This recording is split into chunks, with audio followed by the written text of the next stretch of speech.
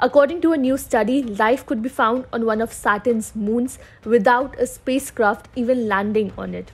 According to the scientists, evidence of life on the ice moon Enceladus could be uncovered by a robot spacecraft sampling plumes jetting out of its liquid interior.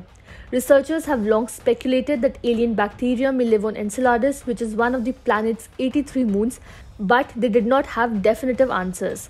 A research team led by the University of Arizona in the USA mapped out a hypothetical space mission that could confirm or deny the presence of extraterrestrial living organisms. This would involve sending up a space probe to orbit the moon Enceladus, which harbors a vast saltwater ocean underneath a thick ice shell. Near its south pole, this ocean spews methane gas, an organic molecule typically produced or used by microbial life, which could be analyzed by an orbiting probe. When it was first surveyed by NASA in 1980, it looked like a snowball in the sky. A second NASA mission between 2005 and 2017 found that its thick layer of ice hides a vast, warm saltwater ocean outgassing methane, a gas that typically comes from microbes on Earth. The methane was discovered when the mission's Cassini spacecraft flew through giant water plumes erupting from the surface of Enceladus.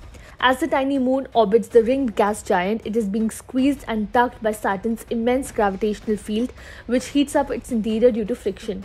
As a result, spectacular plumes of water jet from cracks and crevices of Enceladus' icy surface into space. While the number of bacteria in its ocean would be small, all it would need to uncover them would be a visit from a robot spacecraft.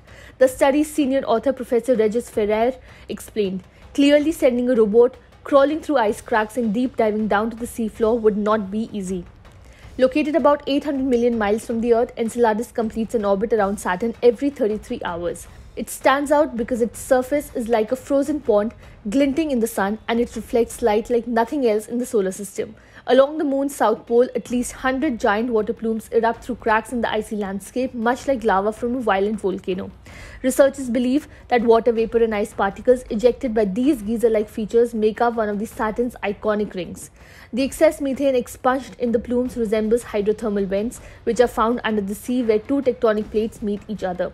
Where they meet, hot magma below the seafloor heats the ocean water in the porous bedrock, creating white smokers, which release scorching, mineral rich, hot sea water. Tiny organisms under the sea have no access to sunlight, so they need the energy from chemicals released by white smokers to stay alive.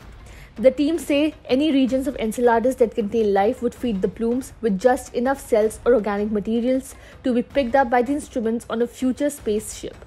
The team say a future mission may struggle to find direct evidence of life, but the presence or absence of certain organic molecules, such as particular amino acids, would serve as an indirect evidence for or against an environment abounding with life.